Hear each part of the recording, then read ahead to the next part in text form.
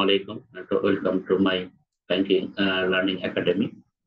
Uh, today, I would like to discuss on the guidelines of ICT security risk management under the module on uh, a, uh, of risk management in financial institution uh, institution. Uh, আমরা uh, প্রথমেই uh, বলতে চাচ্ছি যে আমাদের module F এর আওতায় guideline on different type of risk ম্যানেজমেন্টের উপর বাংলাদেশ ব্যাংক যে গাইডলাইনগুলো প্রণয়ন করেছে, সেই গাইডলাইনগুলো এই এই চ্যাপ্টারটার আমাদের সিলেবাসের অন্তর্ভুক্ত করা হয়েছে। তো আমরা এর আগের লেকচারে আমরা অন্যান্য উপর রিস্কগুলোর উপরে যে গাইডলাইন প্রণয়ন করা হয়েছে, সেটা আমরা আলোচনা করেছি। আজকে আমরা আইসিটি সিকিউরিটি রিস্ক ম্যানেজমেন্ট গাইডলাইনের উপর আলোচনা, আলোকপাত করতে চাই। এবং এখান থেকে আমাদের একটা শর্ট নোট আকারে প্রশ্ন আসতে পারে অথবা কোনো একটা প্রশ্নের অংশ বিশেষ আসতে পারে। আর এই মডিউল থেকে গত বছর, অর্থাৎ নাইনটি সিক্স এক্সামিনেশনে দুটো কোশ্চেন এসেছিল। একটা টেট বেস মানি লন্ডারিং গাইডলাইন আলোকে একটা কেস স্টাডি এসেছিল। আর একটা হচ্ছে আমাদের সোশ্যাল অ্যান্ড এনভায়রনমেন্টাল রিস্ক ম্যানেজমেন্টের উপরে করা হয়েছিল। আজকে আমরা এই বছর আমাদের আইসিটি রিস্ক ম্যানেজমেন্টের উপরে রিস্ক সিকিউরিটি রিস্ক ম্যানেজমেন্টের উপর একটা প্রশ্ন আসার সম্ভাবনা আছে বলে আমি মনে করি। তো যাই হোক বন্ধুরা, আজকে আমরা শুরুতেই আমরা আগের মতোই আলোচনা করতে চাই যে বাংলাদেশ ব্যাংক কর্তৃক টোটাল ব্যাংকিং সেক্টরে যে বিভিন্ন রকমের ডিফারেন্ট টাইপ অফ বা ভার্সেটাইল টাইপ অফ রিস্ক যে আছে অপারেশনাল রিস্ক তারপর ক্যারিয়ার রিস্ক বিভিন্ন রিস্কের মধ্যে ষাটটি রিস্ককে কোর রিস্ক বা সবচেয়ে ইম্পর্টেন্ট রিস্ক হিসেবে বাংলাদেশ ব্যাংক কর্তৃক এটাকে আইডেন্টিফাই করা হয়েছে। এদের মধ্যে আমরা আজকে একটা আইসিটি সিকিউরিটি রিস্ক ম্যানেজমেন্টের উপর আমরা আলোচনা করতে চাই। প্রথমে আমরা আলোচনা করতে চাই যে আইসিটি সিকিউরিটি রিস্ক ম্যানেজমেন্ট বলতে আমরা কি বুঝি? আমরা জানি যে এখন টোটাল ব্যাংকিং ইন্ডাস্ট্রি যে ব্যাংকিং যে সিস্টেম বা ব্যাংকিং যে সার্ভিস এই সার্ভিসটা পুরাই তার ট্রেন্ডটাই কিন্তু শিফট হয়ে গেছে বা চেঞ্জ হয়ে গেছে। এই যে ব্যাংকিং ইন্ডাস্ট্রির যে সেন্সটা the way from providing service to their customers and processing of information in this entire বিগত কয়েকটা যুগে এটা ব্যাপক পরিবর্তন আছে এবং এখন information and communication technology banking business বা ব্যাংকিং সার্ভিসের ক্ষেত্রে একটা বিশাল ধরনের পরিবর্তন এনে দিচ্ছে এবং এই পরিবর্তনের যে বিভিন্ন রকমের যে ট্রান্সফরমেশন সেই ট্রান্সফরমেশন হচ্ছে। আমরা আমরা অবগত আছি যে আগে ব্যাংকিং সিস্টেমটা টোটাল একটা ম্যানুয়ালি এবং লেজার ভিত্তিক ব্যাংকিং সিস্টেম চালু ছিল এখন কিন্তু আমাদের সকল প্রকার ট্রানজেকশন আমার ডিজিটালাইজেশন করা হয়েছে এবং ইনফরমেশন এবং কমিউনিকেশন টেকনোলজি ভিত্তিক সেটাকে রূপান্তর করা হয়েছে। বিভিন্ন রকমের সার্ভিস আমাদের ইনফরমেশন কমিউনিকেশন টেকনোলজির আওতায় করা হয়েছে। যেমন আমরা ফিনটেক রিকটেক ইত্যাদি বিভিন্ন রকমের লেটেস্ট টেকনোলজি আমরা ব্যবহার করে আমরা ব্যাংকিং সার্ভিসে দিয়ে থাকি। তার মধ্যে আমরা এই যে ইলেকট্রনিক যে ব্যাংকিং সিস্টেম সেই electronic banking system is becoming more popular এটা কিন্তু ডে বাই ডে পপুলার হচ্ছে। And enhancing the adoption of the financial inflation এবং অধিক বেশিরভাগ মানুষগুলোকে বা গ্রামের দেশের প্রান্তিক মানুষগুলোকে এই ব্যাংকিং সেবার মধ্যে অন্তর্ভুক্ত করা হয়েছে। এক সময় মানুষের পল্লী অঞ্চলে মানুষগুলোকে ব্যাংকিং সিস্টেমেতে কিন্তু অন্তর্ভুক্ত ছিল না। এখন কিন্তু এই ডিজিটাল ব্যাংকিং সিস্টেমের আলোকে একদম রুট লেভেল পর্যন্ত মানে আমাদের ব্যাংকিং সার্ভিসে পৌঁছে গেছে এবং যার ফলে সকল পেশার বা শ্রেণির মানুষের কিন্তু ব্যাংকিং সার্ভিস নিচ্ছে এবং এক্ষেত্রেও ইলেকট্রনিক ব্যাংকিং সিস্টেম অর্থাৎ আইসিটি বেসড ব্যাংকিং সিস্টেমটা ব্যাপকভাবে গুরুত্বপূর্ণ ভূমিকা পালন করে আসছে।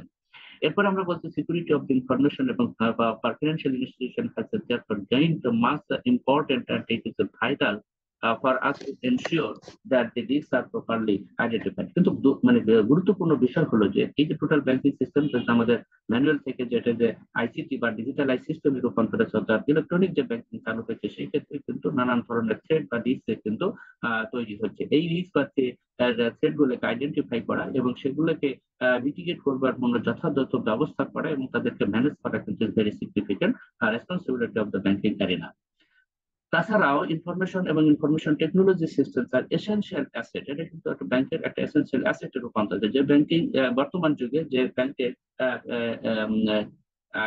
ইনফরমেশন টেকনোলজি বেসড যত সার্ভিস প্রোভাইড করতে পারছে সেই সেক্ষেত্রে গ্রাহকের গ্রাহককে যা আকৃষ্ট করছে এবং গ্রাহকও কিন্তু সেই ব্যাংকের প্রতি ঝুঁকে পড়ছে। তাতে ওই ব্যাংকের কিন্তু বিজনেসটাই কিন্তু অন্যরকম মানে মাত্রায় কিন্তু মানে পৌঁছে গেছে। আমরা যদি একটা উল্লেখ করতে পারি, দেশের অনেক ব্যাংকিং যাদের স্মার্ট টেকনোলজির আদলে ব্যাংকিং সার্ভিস দিচ্ছে, তাদের কাছে কিন্তু মানে এক ধরনের ক্লায়েন্ট বা এলিজিস্ট্রেটেড ক্লায়েন্টগুলো কিন্তু সেদিকে ভিড় জমছে। তো সেই হিসেবে আমাদের কিন্তু এই এই- ব্যাংকিং সিস্টেমে ইনফরমেশন এবং ইনফরমেশন টেকনোলজি কিন্তু খুবই গুরুত্ব আছে। বাট সিগনিফিকেন্ট ইস্যু হলো যে, শুধু আমাদের ওইদিকে ফোকাস করলে চলবে না। আমাদের যদি এই এই প্রপার সিকিউরিটি মেজারমেন্ট যদি না থাকে, তাহলে কিন্তু আমাদের বড় ধরনের ক্ষতি হতে পারে। আমরা একটা এক্সাম্পল এভাবে দিতে পারি যে আমরা যেমন আমাদের কয়েক বছর কয়েক বছর আগে সেন্ট্রাল ব্যাংকের আমাদের যে সুইফটের যে হ্যাকিংটা এই হ্যাকিংটার যে বিষয়টা, সেটা কিন্তু একটা very significant lesson for us সেক্ষেত্রে দেখা গেল যে আমাদের সুইফটের মাধ্যমে হাজার, কোটি কোটি ডলার কিন্তু সেখান থেকে মানে মানে আমাদের কিন্তু পাস হয়ে চলে গেছে। যেটাতে মানে দুর্বলতা ছিল এগুলো কিন্তু আমাদের সুইফট হ্যাকিং এর ক্ষেত্রে আমাদের যে সিকিউরিটি মেজারমেন্ট নেওয়া ছিল, সেখানে একটা দুর্বলতা বা উইকনেস ছিল অথবা আমাদের একটা মানে এক ধরনের উদাসীনতা এরকম বা গ্যাপে ভুল থাকতে পারে। তো যাই হোক, সেটা বিষয় না, আমি এখানে এক্সাম্পলটা মূলত এই জন্য দিলাম যে আমাদের যেমন এই বিজনেস এর ক্ষেত্রে ইনফরমেশন টেকনোলজি যেভাবে আমাদের পজিটিভলি ইম্প্যাক্ট ফেলছে বিজনেসকে অনেক মাত্রায় উচ্চ মাত্রায় নিয়ে পৌঁছায় গেছে। আবার সেই জায়গায় সিকিউরিটি যদি যথাযথভাবে যদি এনশিওর করা সম্ভব না হয়, তাহলে কিন্তু আমার বড় ধরনের ফিনান্সিয়াল কিন্তু লসের পরিণত হতে পারে। এরপরে হচ্ছে নাকি সেই জন্য আমাদেরকে কিন্তু এই এই লসগুলো থেকে, আমার অ্যাসেট গুলোকে প্রোটেক্ট করা এবং সেগুলোকে মেনটেন করা ইজ ইম্পর্টেন্ট টু দ্য একটা অর্গানাইজেশনের স্টেবিলিটির জন্য সাস্টেনেবিলিটির জন্য। যদি আমি অ্যাগ্রেসিভ টাইপের যদি মানে ব্যাংকিং কার্যক্রম করে বিজনেস বাড়াতে চাই সেটা যেমনটা যেমনটি সাময়িকের জন্য ভালো, তেমনি ইন দ্য লং রানে কিন্তু যদি এই ধরনের প্রোটেকশন এবং মেনটেন্স মেজারমেন্টের যদি যথাযথভাবে এনশিওর করা সম্ভব না হয়, তাহলে অর্গানাইজেশনের কিন্তু সাস্টেনেবিলিটি বা তার অর্গানাইজেশনের গ্রোথের সাস্টেনেবিলিটি অথবা স্টেবিলিটি কিন্তু ধরে রাখা কঠিন হয়ে যায়। ব্যাংক এবং non banking financial institution must take the responsibility to protect the information এই যে বিষয়গুলো আমরা বললাম যে ইনফরমেশন টেকনোলজির এই যে রিস্কগুলো, এই রিস্ক গুলোকে প্রোটেক্ট করবার জন্য আমাদের ব্যাংক এবং ফিনান্সিয়াল ইনস্টিটিউশন কিন্তু আমাদের কিছু রেসপন্সিবিলিটি বা দায় দায়িত্ব নিতে হবে। সেই দায়িত্ব দায়িত্ব কিন্তু কিন্তু from unauthorised asset access the modification disclosure এবং ডিস্ট্রাকশন এই বিষয়গুলো পয়েন্ট অফ ভিউ থেকে এটা কিন্তু আমাদেরকে বিবেচনায় আমাদেরকে বিবেচনায় আনতে হবে। তাহলে আমরা এই জন্য বলছি যে এটাকে এনশিওর করার জন্য প্রথমে প্রাইমারি দায়িত্বটা সেটা আমরা মূলত আলোচনা করব।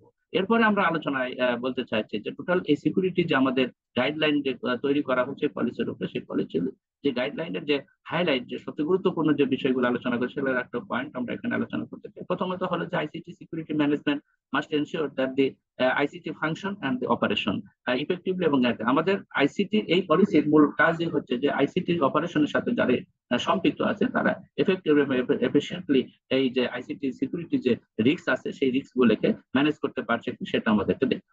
সেই বিষয়ে এই এই গাইডলাইন আলোকপাত করা হয়েছে? দ্বিতীয়ত হলো ব্যাংক এবং non bank financial institution aware of the capabilities of the ICT প্রতিটা ব্যাংকেরই বা প্রতিটা প্রতিষ্ঠানের কিন্তু একটা ক্যাপাসিটির লিমিট আছে। তাহলে যে ব্যাংকের আইসিটি যে ধরনের ক্যাপাসিটি বা লিমিট আছে মানে ক্যাপাসিটি আছে বা দুর্বলতা বা তার সীমাবদ্ধতা আছে, সেটাকে বিবেচনা করি কিন্তু তার ব্যাংকিং বিজনেস স্ট্র্যাটেজি কিন্তু দাঁড় করাতে হবে। খুব বেশি মাত্রায় অ্যাগ্রেসিভ হওয়ার কিন্তু সুযোগ নেই। সেখানে অন্যের সাথে কম্পেয়ার করে নিজেকে অ্যাগ্রেসিভ করে কিন্তু সেই জায়গায় অন্য ব্যাংকের মতো সিকিউরিটি যদি নিজের ব্যাংকে দিলে একে- মানে বা আইসিটি উপরে যদি যে নির্ভরশীলতা, সেই ক্যাপাসিটিতে যদি অতটা বেশি ডেভেলপ না থাকে, তাহলে সেই সেই অসম প্রতিযোগিতায় কিন্তু আমাদের ক্ষতি করে। এই বিষয়গুলোকে কিন্তু এই এই গাইডলাইন বা পলিসির আওতায় কিন্তু আনা হয়েছে বা আলোচনা করা হয়েছে। এবং এখানে আরেকটা জিনিস ইম্পর্টেন্ট করা হয়েছে যে to ensure the maintenance of the appropriate system of the documentation এবং কখন কোন কাজে কি ডকুমেন্ট দরকার, সেটাকে এনশিওর করা যেমন গুরুত্ব দেওয়া হয়েছে, তেমনি গুরুত্ব দেওয়া হয়েছে particular of system which support financial transaction and the reporting এখানে ফিনান্সিয়াল সিস্টেমের ট্রানজেকশন যে দৈনিক ট্রানজেকশন তা রিপোর্ট করার প্রতি বেশি ফোকাস করা হয়েছে। এবং they have to contribute in the ICT security planning to ensure the resource are allocated uh, consistent with the business objective and to ensure the sufficient and qualified uh, technical uh, staffs are employed so that the contribute of the ICT operation uh, area is uh, unlikely to be have the seriously at risk তাছাড়া কিন্তু এটা কিন্তু অনেক বেশি রিস্কের দিকে এটা ঝুঁকে যাবে আর রিস্কের দিকে যদি আমরা এই বিষয়গুলোকে মেনে মেনটেন্স এই বিষয়গুলোকে শুধু এনশিওর করতে না পারি তাহলে কিন্তু প্রতিষ্ঠানটা রিস্কের দিকে কিন্তু ঝুঁকে যাবে এবং প্রতিষ্ঠান অনেক বেশি সিরিয়াসলি রিস্কে রিস্কে থাকবে ICT security management deals with the roles and responsibility এখানে একটা ইম্পর্টেন্ট বিষয় হচ্ছে কি, এই পলিসিটাই টোটাল করা হয়েছে কার কি রেসপন্সিবিলিটি কার কি রোল কীভাবে প্লে করবে এবং কোন দায় দায়িত্ব পালন না করলে কি ধরনের ক্ষতি হতে পারে, এই বিষয়গুলো কিন্তু ফোকাস করা হয়েছে। এবং আইসিটি সিকিউরিটি যে পলিসি তাতে ডকুমেন্টেশন তার এক্সটার্নাল ইন্টারনাল যে ইনফরমেশন সিস্টেম সেটার অডিট তার ট্রেনিং এবং অ্যাওয়ারনেস এবং insurance or the risk cover fund এই বিষয়গুলো কিন্তু এক্ষেত্রে আলোকপাত করা হয়েছে। এক্ষেত্রে আলোকপাত করা হয়েছে। এরপরে আমরা আসতেছি হলো যে রোল অ্যান্ড রেসপন্সিবিলিটি কে কি রোল প্লে করবে সে বিষয়টাকে আমাদের এখন আমরা আলোচনা করব।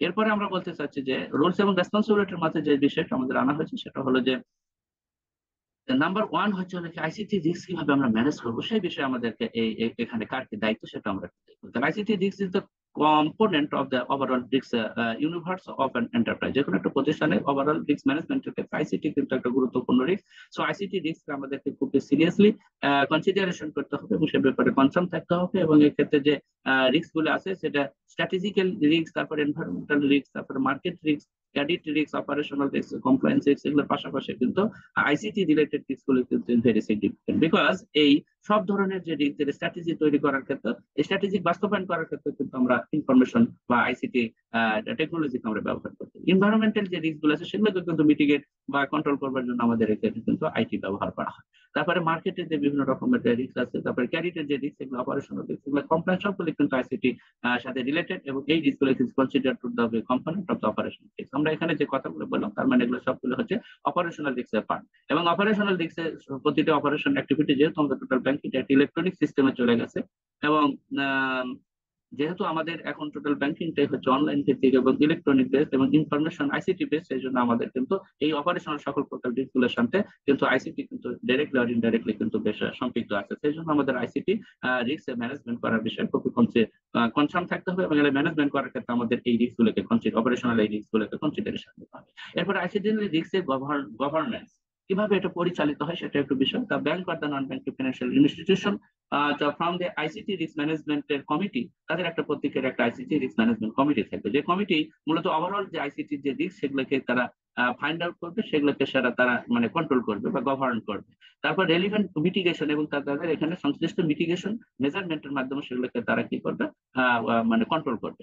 They shall define the risk appetite এখানে আলাদা সিগনিফিকেন্ট বিষয় হচ্ছে risk appetite is the very significant risk appetite কি আমরা আগের স্লাইডে সরি আগের এক ভিডিওতে আমরা রিস্ক অ্যাপেটাইট সম্বন্ধে বিস্তারিত আলোচনা করছি, আবার আমরা এখানে সংক্ষেপে বলি যে একটা প্রতিষ্ঠানের একটা প্রতিষ্ঠানের বা ব্যাংকের অথবা একটা নন ব্যাংকিং ফিনান্সিয়াল ইনস্টিটিউশনে কি পরিমাণ রিস্ককে সে একসেপ্ট করতে পারে বা মানে কি পরিমাণ রিস্ককে সে মানে একসেপ্ট করার মতো করে প্রিপেয়ার আছে, এই যে রেঞ্জটা সেই রেঞ্জটাকে আমরা বলে থাকি রিস্ক অ্যাপেটাইট প্রতিটা প্রতিষ্ঠানের কিন্তু একটা মানে সহ্য ক্ষমতা বা একটা লিমিট থাকে। সেই লিমিটের মধ্যে সে এটাকে, এই রিস্কটাকে তারা কি করতে পারে কন্ট্রোল করতে পারে। এই যদি, এই লিমিটের বাহিরে যদি কোনো রিস্ক চলে যায়, এটা যদি লিমিট হয়, এর বাহিরে যদি কোনো রিস্ক চলে যায়, তাহলে সেই রিস্কে কিন্তু আসে মিটিগেট করতে পারে না অথবা বড় ধরনের প্রবলেমের সম্মুখীন হয়। তার মানে এই যে লিমিটের মধ্যে যে পরিমাণ রিস্ক অ্যাকসেপ্ট করবার অ্যাডপ্ট করবার একটা প্রতিষ্ঠানের সক্ষমতা আছে, সেই সক্ষমতার বিষয়টাকে কিন্তু আমাদের আইসিটি রিস্ক গভর্নেন্সের মধ্যে কনসিডারেশন করা হয় এবং এই এই রিস্ক থেকে আমরা বলে থাকি রিস্ক অ্যাপেটাইট তাহলে আমরা দ্বিতীয়ত আসতেছি হচ্ছে কি যে আইসিটি রিস্ক কীভাবে আমরা অ্যাসেসমেন্ট করব, কীভাবে মেজারমেন্ট করব এবং কীভাবে এটাকে কোয়ান্টিফাই করব। এক্ষেত্রে আমাদের risk based decision required ICT risk to be expose in and the clean তারপরে হচ্ছে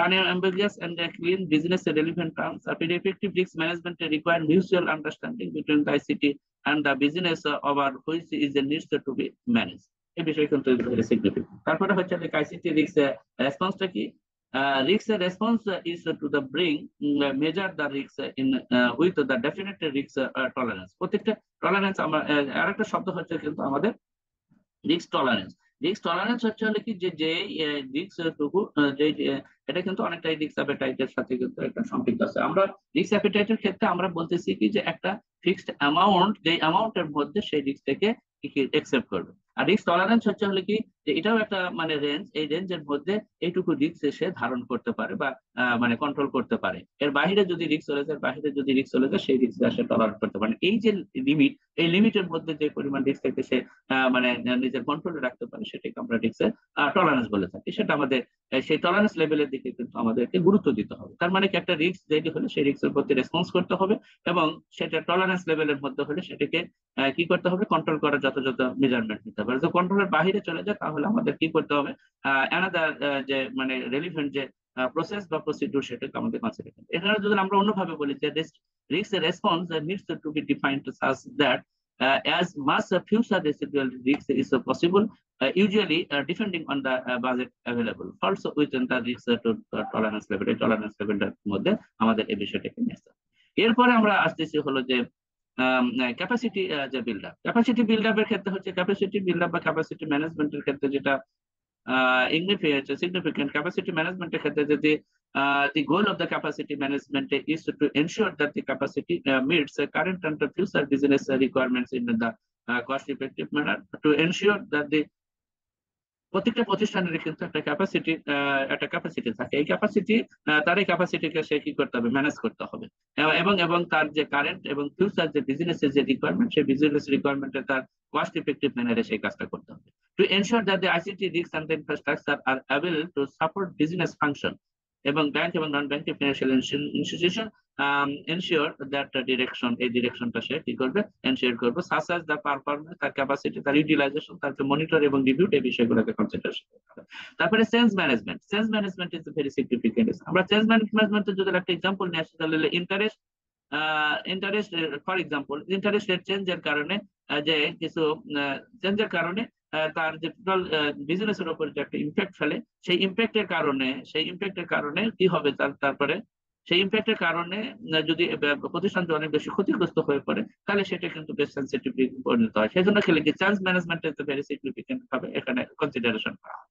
আর আইসিটি রিস্ক চেঞ্জ ম্যানেজমেন্ট বলতে আমরা যে বলছি, যে ব্যাংক এবং non banking financial institution prepare business require business requirement documents uh, which uh, uh, will overcome uh, which will cover the requirements of the systems and this and the impact that will uh, have on the business process security ma- ma- তারপরে হচ্ছে reporting interference এই বিষয়গুলো communication কোন একটা incident ঘটে গেলে সেটাকে manage করবার জন্য আমাদের যথাযথ ভাবে সক্ষমতা অর্জন করতে তারপর কোনো প্রবলেম অ্যারাইজ করলে সেই প্রবলেম ম্যানেজমেন্ট করার জন্য আমাদেরকে পসিবল যত ইজি ওয়ে আছে সেই ওয়ে গুলোকে ব্যবহার করে সেটাকে ম্যানেজ করার উদ্যোগ নিতে হবে। এরপরে আমরা বলতেছি যে ইনফ্রাস্ট্রাকচার যে সিকিউরিটি আমরা বললাম সেই সিকিউরিটি আমরা কীভাবে ম্যানেজ করব?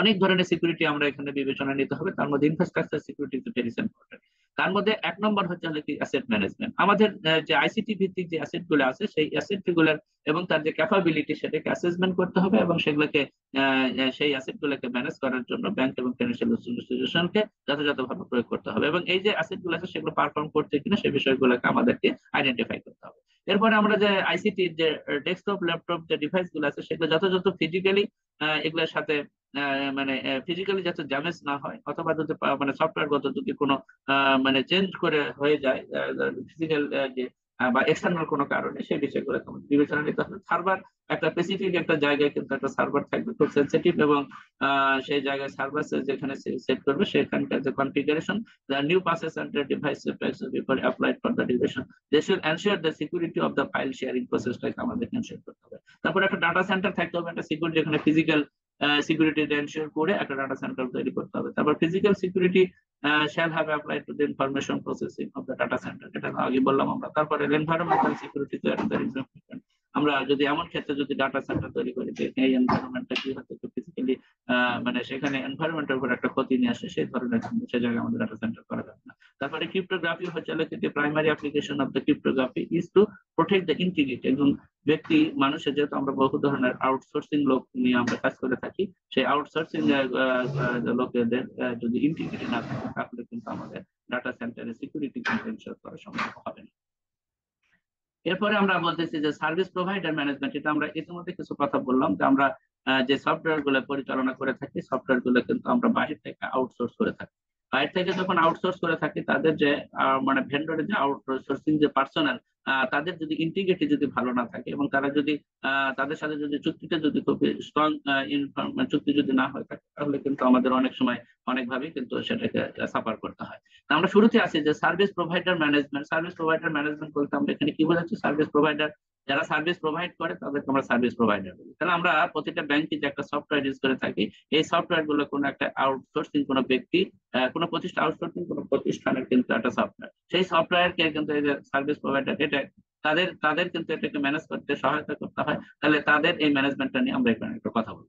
তো external service provider service provider provide ICT outsourcing in system development and maintenance তারপরে হচ্ছে হলো কি যে আমাদের ডাটা সেন্টার অপারেশন তারপর নেটওয়ার্ক অ্যাডমিনিস্ট্রেশন ডিজাস্টার রিকভারি এবং অ্যাপ্লিকেশন হোস্টিং এদের ভেরি সিগনিফিকেন্ট এরপর আসতেছে আমাদের যে commercial bank outsource their ICT যে সার্ভিসগুলো due diligence is very significant এখানে। তারপর তার ভায়াবিলিটি তার ক্যাপাবিলিটি তার রিলায়াবিলিটি এই বিষয়গুলোকে আমাদের কিন্তু কনসিডারেশন নিতে হবে। Outsourcing sensitive sensitivities uh, must have evaluated based on the objective economic তারপরে viability risk and the security the bank among the financial institution যেটাকে আমাকে এনশিওর করতে হবে সেটা হচ্ছে একটি কন্ট্রাকচুয়াল টার্মস এন্ড কন্ডিশন এই বিষয়গুলোকে কিন্তু তাদের ভেরি সিগনিফিকেন্ট তাদের একদিক থেকে তাদের ইন্টিগ্রিটিটা একটা সিগনিফিকেন্ট এবং এই ইন্টিগ্রিটিকে এনশিওর করবার জন্য তাদের সাথে একটা strong contractual terms and condition থাকতে হবে যেটার ভায়োলেশন করলে তাদেরকে লায়াবল করা যাবে এবং আইনগত করে তাদের বিরুদ্ধে ব্যবস্থা এরকম একটা সেট কিন্তু আমাদের থাকতে হবে। তারপরে service provider must employ high standard to care or diligence in the security policies, procedures and control to protect the confidentiality. তারপর disaster recovery site uh, must be uh, multi-layered in terms of the physical uh, location, connectivity and the ensured uh, data availability and contribution. এটা যে very significant আমাদের বিষয় তো যাই হোক আমরা আজকে এই ভিডিওতে আমরা যে বিষয়গুলো আলোচনা করার চেষ্টা করলাম সেটা হলো যে যে ভিডিওটা আমরা আলোচনা করার চেষ্টা করলাম সেটা যে আমরা কীভাবে এই আইসিটি বেসড যে সিকিউরিটি সিকিউরিটি কীভাবে আমরা ম্যানেজ করব সেটাই আমাদের মূলত আলোচনার বিষয়। সেই জায়গায় আমরা দেখলাম যে প্রথমত হলো যে আমাদের বিভিন্ন রকমের কোড রিক্সের মধ্যে আইসিটি একটা কোড রিক্স যেটা বাংলাদেশ ব্যাংক থেকে এটা আমাকে মানে ইয়া করা হয়েছে। তারপর আইসিটি রিস্ক ম্যানেজমেন্ট যে গাইডলাইন সেই গাইডলাইনে যে বিষয়গুলোকে ফোকাস করা, সেটা নিয়ে আমরা আলোচনা করলাম। এই এই যে জায়গায় এখানে মানে সবচেয়ে ফোকাসিং জায়গাগুলোকে আমরা এই পলিসিতে যে হাইলাইট করা সেই কথাগুলো আমরা এখানে আলোচনা করেছি। তারপর এখানে সবচেয়ে বড় বিষয় হচ্ছে যে বিভিন্ন ব্যক্তি বা বিভিন্ন মানে ইউনিটের যে রোলস এবং রেসপন্সিবিলিটি সেটা নিয়ে আমরা বিস্তারিত আলোচনা করলাম তারপরে হচ্ছে সিকিউরিটি আইসিটি সিকিউরিটিকে ম্যানেজমেন্ট করার জন্য একটা ইনফ্রাস্ট্রাকচার সিকিউরিটি ভেরি সিগনিফিকেন্ট এবং এখানে সার্ভিস প্রোভাইডারদের কিছু দায় দায়িত্ব আছে। সার্ভিস প্রোভাইডারদের ক্ষেত্রে কিছু কিছু টার্ম কিছু কন্ডিশন আছে। সেই বিষয়গুলো নিয়ে আমাদের এই আজকের এই ভিডিওটা সাজানো হয়েছে। আপনাদের যদি ভালো লেগে থাকে এবং কোনো কাজে লাগে তাহলে আপনারা